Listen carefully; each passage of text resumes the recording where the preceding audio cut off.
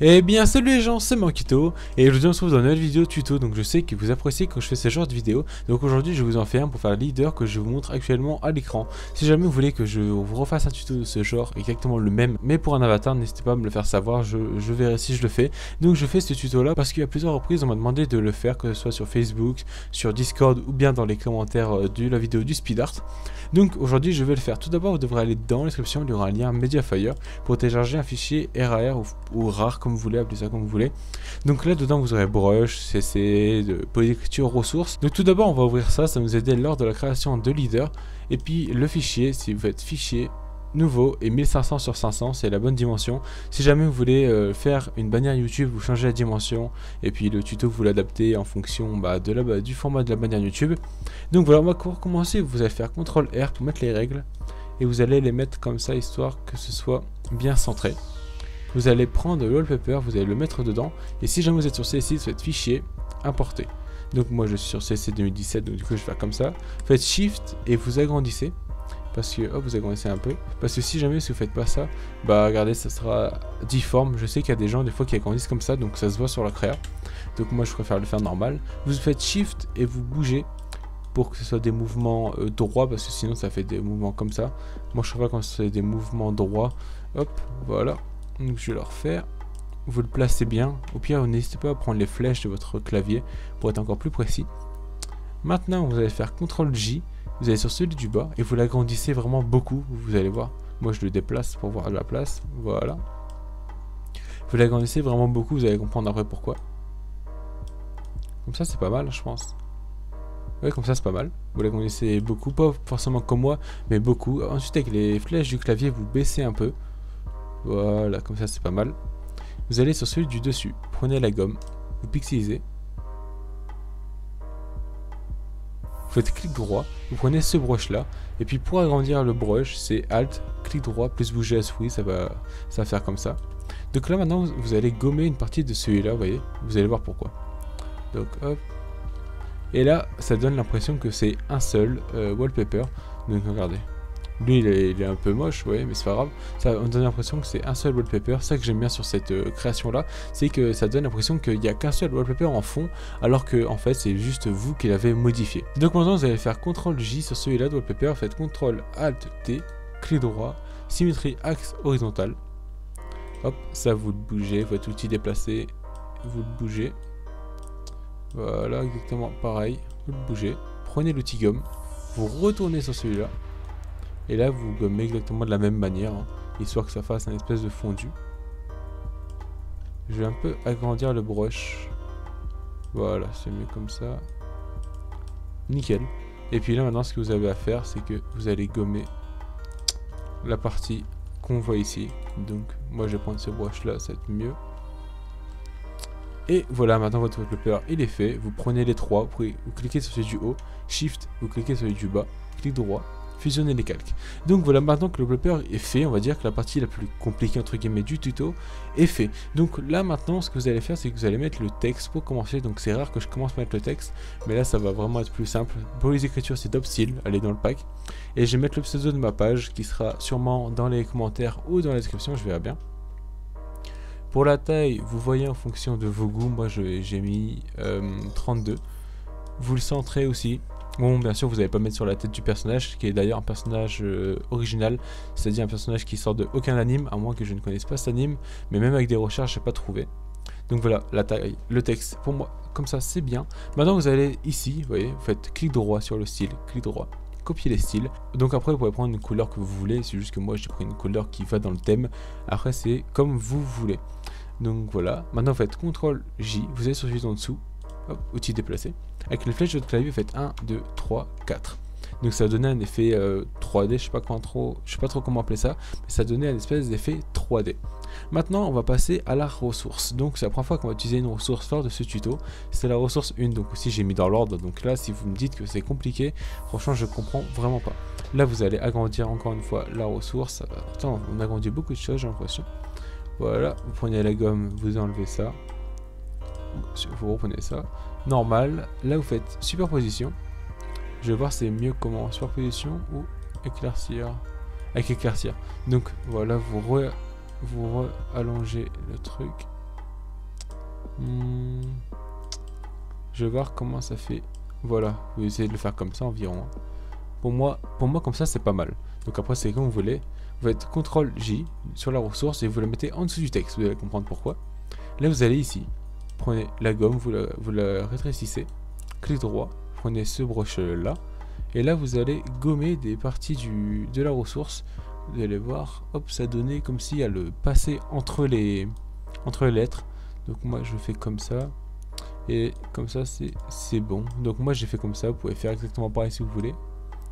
Donc hop, allez passer ici. Donc voilà, maintenant je remets comme ça. Donc la première étape des ressources, c'est fait. Donc maintenant, on va passer à la prochaine étape. Donc vous allez prendre cette ressource là. Vous allez hop. Donc maintenant, vous allez faire superposition. Vous la déplacez dans le coin. Donc hop, ça donnera un peu plus euh, d'effet wallpaper. Voilà, comme ça dans le coin. Ensuite, prenez la ressource 3 qui, elle, euh, va mettre en valeur l'œil du personnage. Hop, encore une fois, vous allez gommer ça. Voilà. Pareil, vous mettez de la superposition. Euh, là. Opacité environ 40. Et comme vous voyez que c'est rouge, vous allez euh, mettre le en bleu. Donc, là vous bougez un peu. Hmm, est-ce que ce bleu là, il n'y a pas mieux Un bleu plus clair? Tout ça serait mieux. Hmm. Voilà, vous mettez à plus 70 donc euh, pour euh, pour ce filtre là, faites CTRL U et si jamais vous êtes sur CS6, je ne me souviens plus du tout, je, je, sais plus si c'est CTRL I ou autre chose, mais je me souviens plus du tout c'est quoi la commande, mais là vous avez juste à faire CTRL U et voilà, vous, après vous devrez rétrécir ça, mais n'oubliez pas de faire à chaque fois Shift. Donc maintenant on va passer encore à une autre ressource qui est la ressource 4 qui elle aussi va mettre en valeur le l'œil. Donc hop vous la mettez, encore une fois vous supprimez ça, vous la rétrécissez, vous mettez en superposition. Là aussi 40, encore une fois. Vous la rétrécissez. Et puis, vous allez la mettre sur l'œil. 40, ça se voit pas trop. 50 peut-être Ouais, voilà, 50 c'est mieux. 50. CTRL U. Et encore une fois, vous allez mettre en bleu. Donc là, c'est aussi plus 70, euh, j'imagine. Non, c'est pas pareil. Là, plus 152. Donc voilà, vous mettez en plus 152. Maintenant, encore une autre ressource, donc euh, cette créa joue beaucoup sur le nombre de ressources. J'en ai mis vraiment beaucoup. C'est une des rares créations où je mets autant de ressources. Donc euh, d'ailleurs, il y a ma ressource préférée que j'utilise beaucoup en ce moment, c'est celle-là. Je vous conseille aussi de, de vous en servir. C'est une ressource vraiment très belle qui va un peu avec tout. Donc voilà, maintenant vous prenez ça. Encore une fois, vous connaissez la routine. Hop, vous prenez comme ça, ressource 5, vous la mettez en superposition, hop, dans le coin, comme ça. Pareil ici. En comme ça. Hop. Hop. Voilà. Et voilà. Donc euh, là, essayez de faire en sorte que ce soit assez euh, symétrique, vous voyez. Donc maintenant, on va passer à la ressource 6. Donc c'est vraiment du bourrage, entre guillemets, de ressources. Parce que j'ai envie que ce soit assez classe. Donc euh, je sais pas si vous, vous apprécierez. Donc là, vous agrandissez un peu. Hop. Je sais pas si vous apprécierez en fait euh, ce tuto, je l'espère. Mais bon, vu qu'il m'a été demandé plusieurs fois, j'imagine que c'est quasiment sûr que ça, vous plaise. Sinon, vous ne me l'aurez pas autant demandé. Là, vous le mettez en noir et blanc, donc saturation en moins 100. Voilà vous le mettez ici comme ça. Pas trop non plus, pas, comme ça, parce que ça fait un peu moche. Donc vous la mettez comme ça, mais après c'est à vos goûts. Après vous pouvez adapter vous-même. Vous n'êtes pas obligé de reproduire le tuto à l'identique. Vous pouvez faire euh, des choses originales de vous-même. Donc maintenant, hop, une autre ressource. On va passer à la ressource 7, qui elle est dans quasiment, ouais, dans vraiment toutes mes créations, je crois. Hop, encore une fois, vous gommez ça. Voilà. Vous la mettez en superposition. Et vous la disposez partout. Donc hop, là vous faites CTRL pour avoir les deux sélectionnés, clic droit, fusionner, superposition. Et voilà, vous faites CTRL J, vous la dupliquez partout sur la créa. Et voilà. Ensuite, vous cliquez sur celle du haut, Shift, celle du bas, clic droit, fusionner les calques, superposition. Et vous baissez un peu l'opacité par contre sur celle-là. Donc euh, pour la ressource 7, je dirais environ... Faut pas que ce soit non plus trop voyant, là je trouve que c'est trop voyant. Voilà, comme ça, parce que ça donne un peu l'impression que c'est avec le fond. Et puis en même temps, ça va sur le texte et tout, donc c'est pas vraiment que le fond. Maintenant, c'est quelque chose que je que j'expérimente en ce moment. C'était pas de base sur la création, mais je vais vous, je vais vous le montrer. Faites euh, clic droit, vous mettez ce brush là, vous faites un nouveau calque en cliquant ici, couleur, vous prenez du blanc et vous mettez en incrustation. voilà, incrustation. Et vous mettez des coups de clic un peu partout. Donc un ici, ici, hop. Un autre ici. Un ici, hop. Voilà. Donc euh, moi j'en mets un peu partout, après c'est quand vous voulez. Vous n'êtes pas obligé de faire exactement pareil que moi comme je l'ai dit juste avant. C'est juste que j'ai l'impression que ça donne un, petit peu un, petit style de, de lumineuse tout ça. J'aime bien. Maintenant on va mettre l'ombrage. Donc l'ombrage de base que je mets d'habitude. Faites un nouveau calque. Après avoir fait le nouveau calque, prenez le pinceau, la couleur noire. Faites clic droit, vous prenez bien le pinceau estompé, faites Alt, clic droit et vous bougez la souris histoire d'avoir euh, un pinceau plus grand. Et là, vous faites attention de ne pas être dedans parce que vous voyez, ça fait pas très beau, même comme ça, ça fait pas très beau. Donc, ce que vous allez faire, c'est que vous allez être en dehors. Donc, vous faites comme ça, vous glissez votre souris. Donc, euh, après, vous faites Alt, roulette pour, pour reculer, vous aurez une meilleure vision. Hop, comme ça. Voilà, vous faites bien aux alentours et pas dedans. Et essayez de pas déborder parce que sinon ça va faire pas très beau. Là ça fait beaucoup trop sombre je trouve comme ça. Donc voilà maintenant vous faites 100%. Voilà. Après l'ombrage on va passer au brush. Donc hop vous le prenez, vous le glissez. Entrée. Hop, entrée. Et vous le mettez un peu partout comme ça. Regardez, regardez, vous faites exactement pareil. Vous faites CTRL J, vous dupliquez à chaque fois et vous le déplacez. Voilà, CTRL J. Hop, vous le mettez sur le côté. Voilà.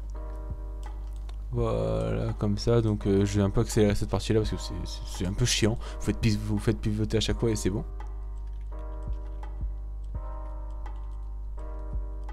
Donc voilà, j'ai fini. Maintenant, je mets à 100%. Vous mettez adapté à l'écran si jamais vous avez un petit écran.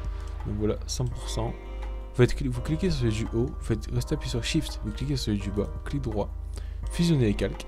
Vous allez dans Filtre, Flou, radial.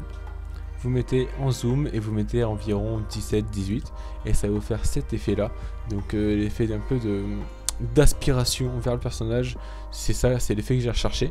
Donc maintenant, après avoir mis le brush, on va repasser aux ressources. Donc maintenant, la ressource 8, donc qui est la ressource que j'utilise le plus sur toutes mes créations en ce moment. Donc vous l'agrandissez en restant sur Shift entrée, CTRL J. Donc moi en fait j'ai des comment des vous chaque fois. Moi j'ai des réflexes qui est de, de chaque création, d'appuyer sur Shift tout ça. Donc en fait à travers mes tutos j'aimerais bien vous euh, vous donner, vous, transmettre ces, euh, ces, tics ou ces réflexes, entre guillemets, appelez ça comme vous voulez, pour, que, pour vous faciliter vos créations. Et puis je trouve que ça rend vos créations plus belles. Donc euh, j'espère que vous aurez à avoir ces, ces réflexes-là. C'est des réflexes à avoir quand on est, quand on est dans le graphisme, comme dans tout, comme dans tout type d'art, parce que oui, c'est de l'art quand même. Euh, c'est bien d'avoir des réflexes qui pourront vous aider. Donc vous mettez en incrustation et vous mettez l'opacité à 3. Donc là ça fait un détail, mais après vous comprendrez qu'après avec une suite de détails, ça donne quelque chose d'assez beau. Maintenant vous passez à la ressource 9. Donc voilà, vous l'agrandissez aussi. Hop. Voilà, vous dupliquez. Hop. Dupliquez à chaque fois. Je vais manière, c'est la même chanson à chaque fois, vous dupliquez. Hop, voilà clic droit, fusionner les calques, faites incrustation. Lui, vous allez le mettre environ 9. Et pour ceux qui l'auraient remarqué, là, il y a eu environ 10 minutes, un trou de 10 minutes. C'est parce que j'avais continué le tuto, mais ça pas que j'avais appuyé sur la touche pour arrêter le rec. donc ça fait qu'il y avait une partie de 11 minutes du tuto, je crois, si je ne me trompe pas, et une autre partie qui j'ai oublié de rec. C'est seulement à la fin du rec que j'ai remarqué qu'en haut à droite, il y avait le timecode pour me dire que c'était pas en rec. Donc j'avais un petit peu le somme, mais c'est pas grave, c'est une header assez simple à refaire. Donc voilà, euh, petite parenthèse fermée. Maintenant, après avoir fait ça, vous mettez la ressource 10, donc c'est un peu du bourrage de ressources. Hop, vous faites Shift, vous l'agrandissez. Là, cette image-là, je la trouve vraiment très belle. J'aime bien. Vous mettez incrustation. Non, avant de faire incrustation, vous mettez CTRL U. Saturation, si jamais vous n'avez pas la touche CTRL U, encore une fois, image, réglage noir et blanc. Hop, vous mettez de l'incrustation. Voilà. Et vous mettez l'opacité à 24. Ou dans la trentaine. Dans la trentaine environ. Voilà. Déjà là, on voit que quand même, c'est trois petits détails qui tout seul donnent des détails, encore une fois, mais à trois qui donnent des choses assez belles. Voilà. On va les laisser. Maintenant, on va passer à la dernière ressource, qui est la ressource 11. El Famoso, dernière ressource. Donc, on va agrandir ça. Voilà, on va la mettre ici, comme ça. Vous faites CTRL U, noir et blanc encore une fois. Mettez incrustation et à 15%. Donc là, c'est la dernière fois que vous devrez mettre une ressource. J'espère que vous êtes content d'avoir euh, fini euh, la grosse étape. Mais bon, c'est pas encore fini la création, n'oubliez pas que c'est pas encore fini. Donc voilà, maintenant, après avoir fait ça, on va mettre les color correction qui vont donner un peu le, le sel que tu rajoutes à tes pâtes, parce que tu manges tes pâtes parce que c'est la crise, tu vois. le sel que tu rajoutes qui donne un, meilleur goût ou le beurre. Voilà, c'est ça les color. Pour moi, je, les caractérise comme ça. Et maintenant, ce n'est pas encore fini. Vous allez aller au texte, vous faites CTRL, vous sélectionnez les deux. Faites CTRL J, clic droit, convertir un objet dynamique. J'espère pas que je, suis trop rapide, parce que sinon euh, c'est un peu galère pour vous. Vous faites, voilà, filtre, vous mettez en dessous là, ici, hein. vous regardez bien les calques, filtre, flou, directionnel. Voilà, environ 220. vous faites CTRL U, vous mettez en noir et blanc. En incrustation. Puis vous redupliquez. Et voilà ce que ça vous donne. Donc le leader est fini. Je me répète, mais si jamais vous voulez que je fasse un avatar comme ça, parce que j'ai fait aussi l'avatar pour ma page, mais si jamais vous voulez que je fasse un avatar comme ça, vous me dites, je referai le même tuto mais pour un avatar, même si je pense que vous êtes capable de le reproduire vous-même. Donc le lien de ma page sera dans les commentaires ou bien dans la description, je verrai bien. Donc ce serait vraiment sympa si vous allez liker la page, je, vous force, je vous force pas, mais ce serait assez sympa. Donc voilà, moi sur ce, je vous souhaite à tous à tous une excellente journée ou soirée, et puis n'hésitez pas à vous abonner pour plus de vidéos. Tchuss Tu rentres pour voir la daronne, un pote a trouvé un travail, faut lui annoncer. Tu passes chez un pote prendre de l'argent juste avant pour soigner ton arrivée. Puis tu passes la porte de chez toi. Y'a que le petit ref, maman n'est pas là. Le daron vient juste d'arriver en urgence car elle est devenue gravement malade. Dis-moi la rue, elle sert à quoi si tu peux pas être auprès de la madre Elle était stressée, le petit frère qui prend le même chemin que son grand refrain.